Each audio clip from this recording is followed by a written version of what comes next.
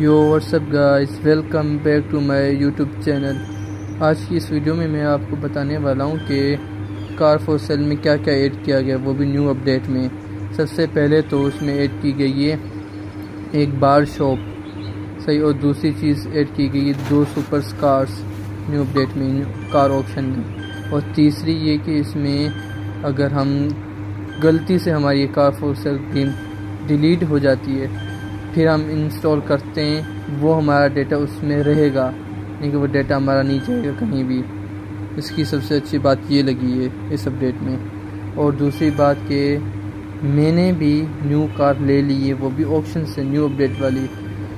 Super car इतनी बेहतरीन car है, मज़ा आ गया मुझे तो चला के।